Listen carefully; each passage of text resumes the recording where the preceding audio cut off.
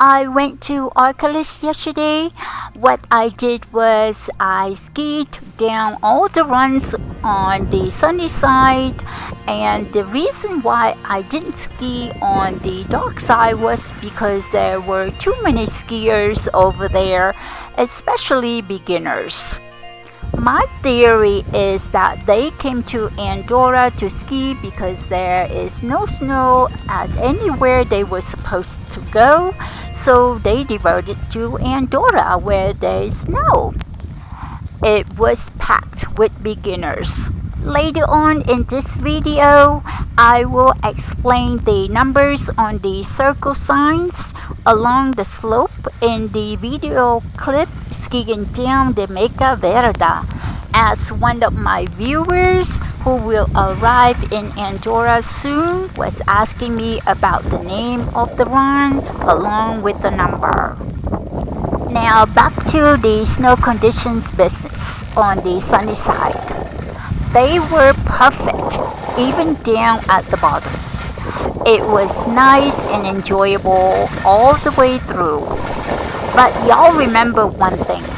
The conditions can change without hours notice. It can be good to ski on in the morning, but icy or slushy later on into the day. But I doubt it as it's snowing as I'm speaking up at Arcalis, Grandvalira, lightly at Arinsal, and about to at Pal. Awesome news for some of my viewers who are arriving this weekend.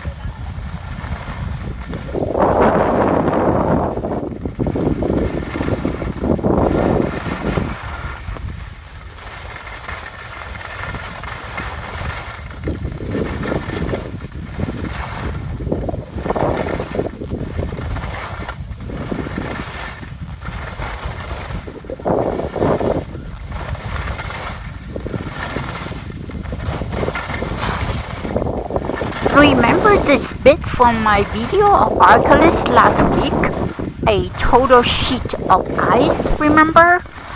Not today, y'all. Good skiable snow all the way down to the lift. Yay!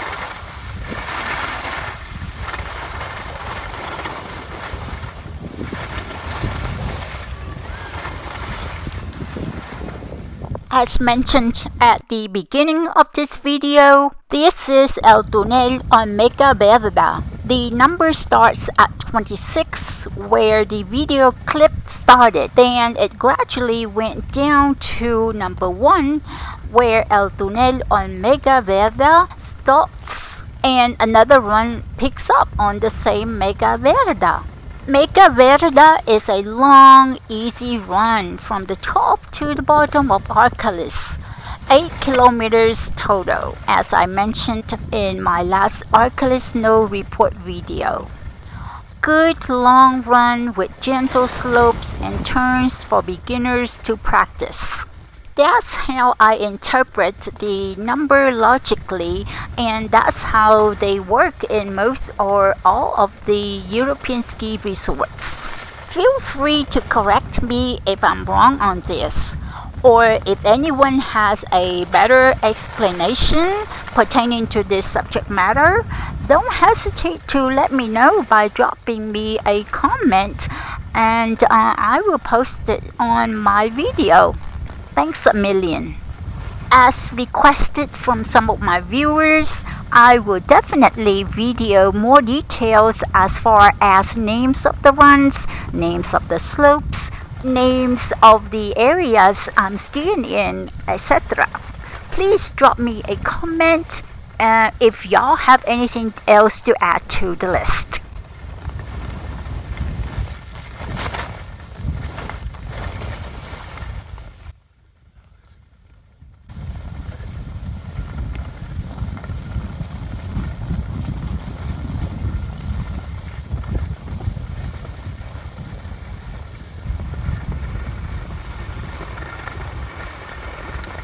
Alrighty then, that's all for me. Y'all enjoy the rest of the video to see the snow condition on uh, different runs plus the name of each run I was skiing at. Don't forget to give it a like, subscribe if y'all haven't done so already, and share the video with your fellow skiers. I thank you for watching and let it snow, let it snow, and let it snow. Happy skiing!